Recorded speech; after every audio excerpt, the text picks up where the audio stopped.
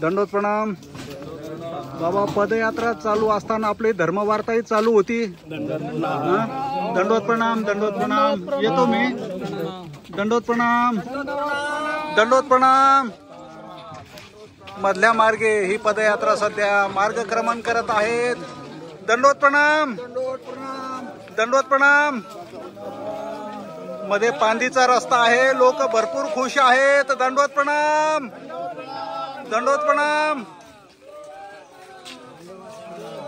मागच्यांना सगळ्यांना मागच्यांना दंडवत प्रणाम श्री क्षेत्र लाड जळगाव या ठिकाणी सध्या ही सर्वज्ञ प्रतिष्ठानची पदयात्रा सध्या या ठिकाणी पोहोचत आहे. दंडवत प्रणाम दंडवत प्रणाम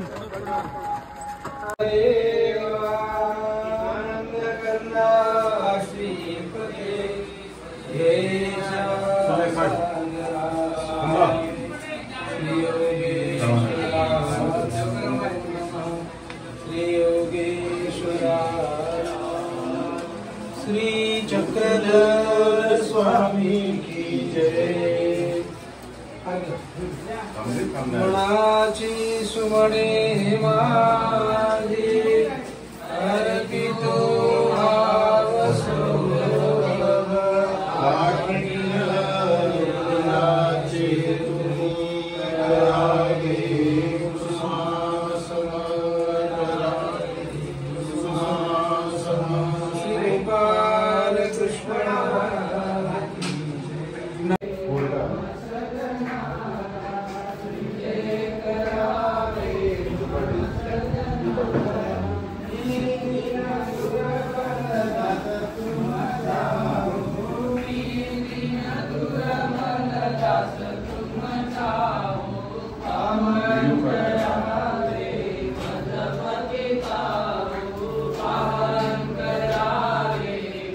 त्या स्थानाकडे आपण जात आहो ते आहे नागलवाडीचं स्थान.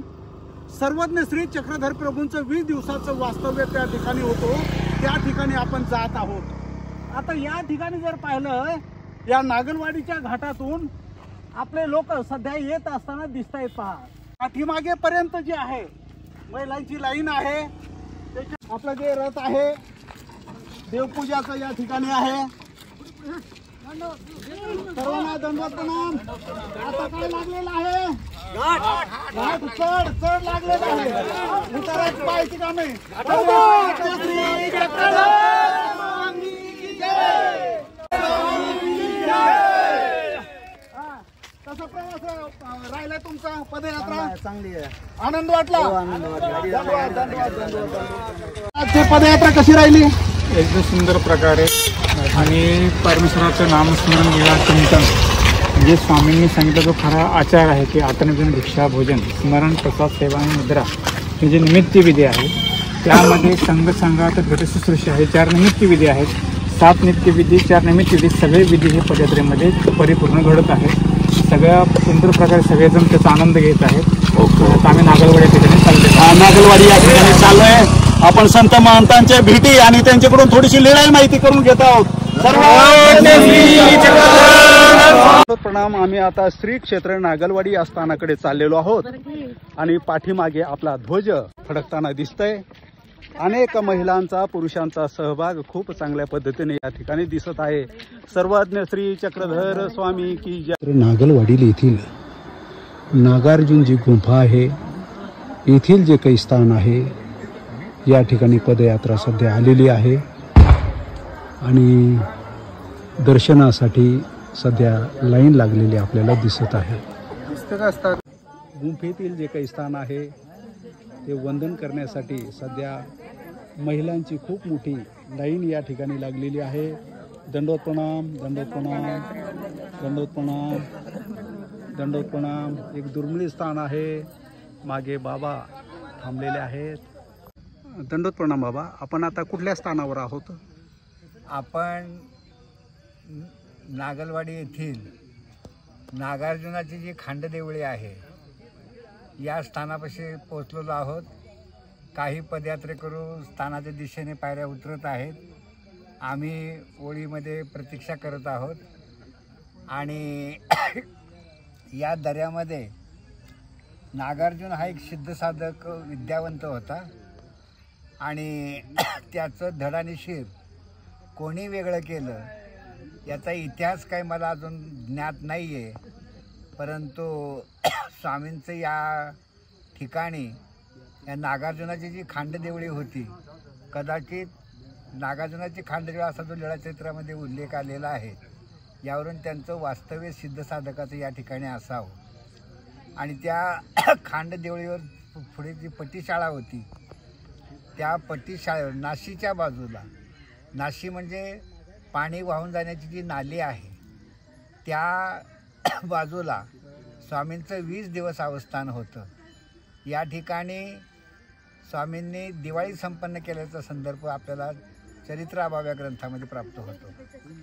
आणि एके दिवशी स्वामींना त्या विवराच्या म्हणजे भुयार तिथे स्वामींना लोमता श्रीचरणे आसन झालेलं होतं. आणि स्वामी दायंबांना म्हणतात की येथ नागार्जुन पडला असे तयाचे धड आणि शिर वेगळे असे. जो कोणी ते जुळवेल त्याला सिद्धी प्राप्त होईल. अशा प्रकारची माहिती स्वामींनी दिली. आणि मग दायंबांना स्वामींनी सांगितलं की तुम्ही जरी धड आणि शिर जुळवाल तर तुम्हालाही सिद्धी प्राप्त होईल. त्यावर दायंबा म्हणतात जी जी ठीक आहे सिद्धी प्राप्त होईल पण नंतर आमचे गोसाई आम्हाला कुठे दर्शन देतील? त्यावेळेला स्वामींनी सांगितलं ते सांगता येणार नाही. कारण तुम्ही सिद्धी एकदा प्राप्त झाल्यानंतर सिद्धीच्या प्रभावाखाली कुठे कुठे जाल कुठे कुठे चमत्कार दाखवाल कुठे भरकटाल हे आम्हाला नाही सांगता येणार. कारण जीव कसा आहे? पोर आहे. पोर म्हणजे अपगंड स्वतंत्र उच्छृंखल. त्याला पोर असं म्हटलेलं आहे. आणि मग तुम्ही त्या सिद्धीच्या भरात कोणीकडे जाल? आणि मग आमची भेट कशी काय होईल? आमच्या भेटीची अपेक्षा करणं चुकीचं आहे. त्या आमची भेट कुठं होईल तुम्हाला सांगता येणार नाही. मग दायबा म्हणतात जर आमच्या गोसाव्यांची भेट जर पुन्हा होणार नसेल तर आम्हाला ती सिद्धी प्राप्त करून करायचं काय? तो नागाने तसाच पडू द्या तिकडे. असं म्हणून दायबाने या गोष्टीला नकार दिला. आणि अशा प्रकारे वीस दिवस स्वामींचे ते अवस्थान झालं. आणि या वीस दिवसाच्या वास्तव्यानंतर स्वामी इथून चकलांब्याला गेले. इथून दीड किलोमीटर अंतरावरती केदारेश्वर देवळाचा एक परिसर आहे. तिकडे पण स्वामी विहरणाला जात असत. पट्टीशाळेवर स्वामीला आसन होत असे. त्या केदारेश्वराच्या देवळाच्या पाठीमागील बाजूस एक जळमांडवी आहे. जळमांडवी म्हणजे एक लहानशी विहीर आहे प्राचीन विहीर आहे. आणि त्या विहिरीमध्ये आमच्या सर्वज्ञांनी जलक्रीडा केलेली आहे. ते संबंधित नमस्कारी विहीर आजही आपल्याला प्राचीन अवस्थेमध्ये पाहायला मिळते नमस्कार करायला मिळते. अशा प्रकारे या निसर्गरम्य परिसरामध्ये स्वामींचं वीस दिवस अवस्थान झालेलं आहे आणि त्यानंतर स्वामींनी इथून चकलांब्याकडे प्रयाण केलेलं आहे. या लीळा यासाठी निवेदन केल्या जातात की त्या लीळांचं स्मरण करून जर स्थान केलं तर विशेष लाभ होतो. शास्त्रकार म्हणतात आचारस्थळामध्ये स्थाना जाता प्रसाद नमस्कार नमस्कार करिता आदी तेथची लीळा ते संबंधांत पाठी ते स्मरणांत. म्हणजे स्थान नमस्कार करण्याला जात असताना प्रसाद नमस्कार करण्याला जात असताना त्या ठिकाणच्या ज्या लीळा आहेत त्या लीळा साधकाने आठवत जावं. त्या लीळा आठवल्याने स्थान प्रसाद नमस्कार केल्याची योग्यता त्याला प्राप्त होते. आणि प्रत्यक्ष स्थानापाशी गेल्यानंतर लीळा आठवून जर स्मरण करून जर लीळा आठवून जर ते स्थान वंदन केलं तर त्याला स्मरणाची योग्यता होते. म्हणजे स्थान वंदनाची योग्यता आणि स्मरणाची योग्यता याच्यामध्ये फार मोठा फरक आहे. तात्विक फार मोठा फरक आहे. म्हणून स्थान नमस्कार करायला जात असताना रस्त्याने वार्तालाप न करता जर दिळ आठवत जर गेलं तर स्थान नमस्कार करण्याच्या आधी स्थान नमस्कार केल्याची योग्यता साधकाला प्राप्त होते. हे आमच्या परमार्गाचं वैशिष्ट्य आहे. आणि त्या ठिकाणी जाऊन मग लीळा आठवून जर स्थान नमस्कार केलं तर स्मरणाची योग्यता होते. यापूर्वीच्या पदयात्रांमध्ये दंडोत प्रणाम. खूप मोठी लाईन आहे आणि त्याच्याबरोबर सर्व लोक बाबाजे या ठिकाणी या स्थानाची लीळा निरूपण करतात. ऐकताय ना सर्वजण? हां बाबांना थोडंसं मध्ये तुमच्यासाठी थांबवलेलं होतं. पुन्हा आपण पूर्ण करूया. दंडवत प्रणाम. तर यापूर्वीच्या पदयात्रामध्ये आमचा असा एक नियम होता की आम्ही कुणाला स्थान करायला पहिले जाऊ देत नव्हतो.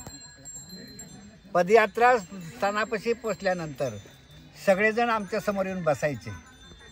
त्यांना आम्ही लिळा निरूपण करायचो. लिळा निरूपण केल्यानंतर मग स्थान करण्यासाठी मंदिरामध्ये प्रवेश द्यायचो. पण आता तसं काय कोणी नियम पाळत नाही आणि लोकांना माहितीही नाही आहे आता हा उपदेशी वर्ग जो आहे त्यांना काय एवढं बिचाऱ्यांना माहिती आहे? तर ह्या गोष्टी माहीत असणं फार महत्त्वाचं आहे. स्थान नमस्कार करण्याच्या आधी लिळा माहीत असणं गरजेचं आहे. कारण तुम्ही जेव्हा स्थान नमस्कार करणार आता मी तुम्हाला रात्री लीळा सांगणार आहे. परंतु ते कसं होणार? बैल गेला आणि झोपा केला या म्हणीप्रमाणे होणार. वराती मागून घोडे.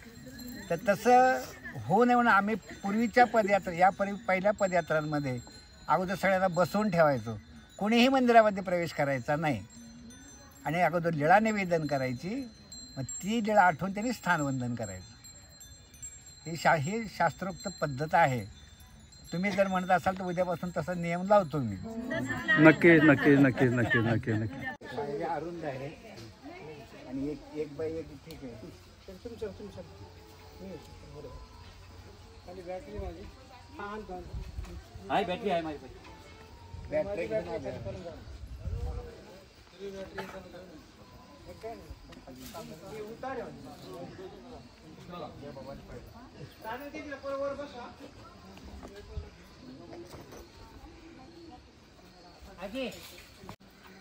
दंडोत प्रणाम। की जे? आणि सायंकाळच्या वेळेस आपण या ठिकाणी आलेलो आहेत. कसं वाटतं इथलं वातावरण असताना खूपच छान आहे ना? आणि दरी दरी खूप मोठी. आपण सर्व भाग्यवान आहोत. अशा ठिकाणी देखील आपलं स्थानवंदन बाबांच्या बरोबर घडलेलं आहे. दंडवत प्रणाम. दंडवत प्रणाम. हेच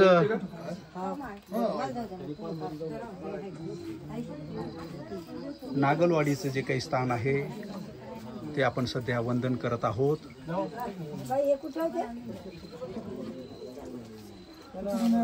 नाग नागार्जुनाची जी खांडदेवळी होती.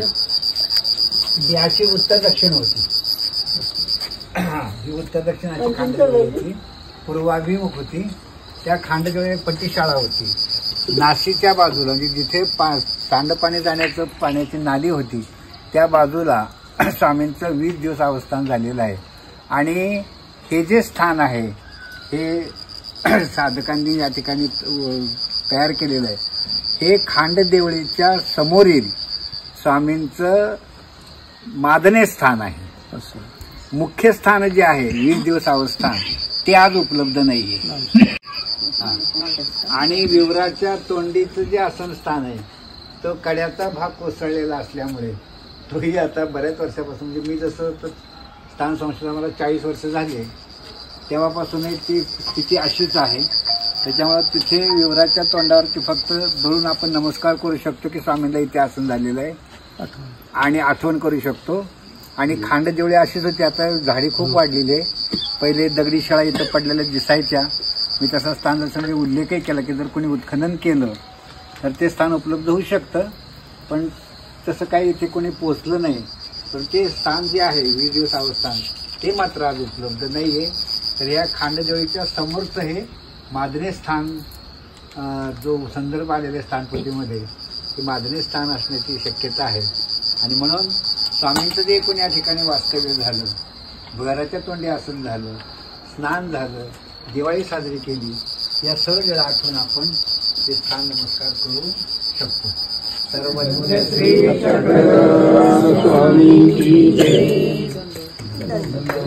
ठिकाणी आपण आलोय. या ठिकाणी नागार्जुनाची जी गुंफा आहे इथे आहे. ठिकाणी आलेले आहेत.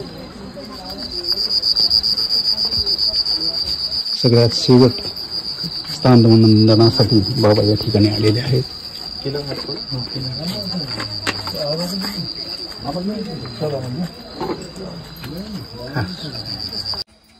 अशी होती